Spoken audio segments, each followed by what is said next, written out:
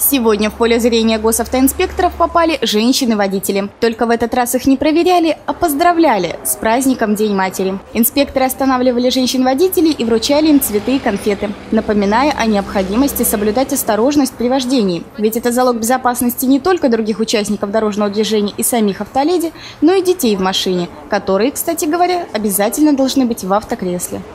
Самое важное для женщины-водителя, особенно для женщины, которая э, со своим ребенком едет в автомобиле, это прежде всего подумать о его безопасности. То есть приобрести детское удерживающее устройство, либо пристегнуть ребенка, если он уже э, достаточно взрослый. Ну и прежде всего не превышать скоростной режим, быть очень внимательной, э, сосредоточенной, чтобы никаких неприятных ситуаций э, не произошло.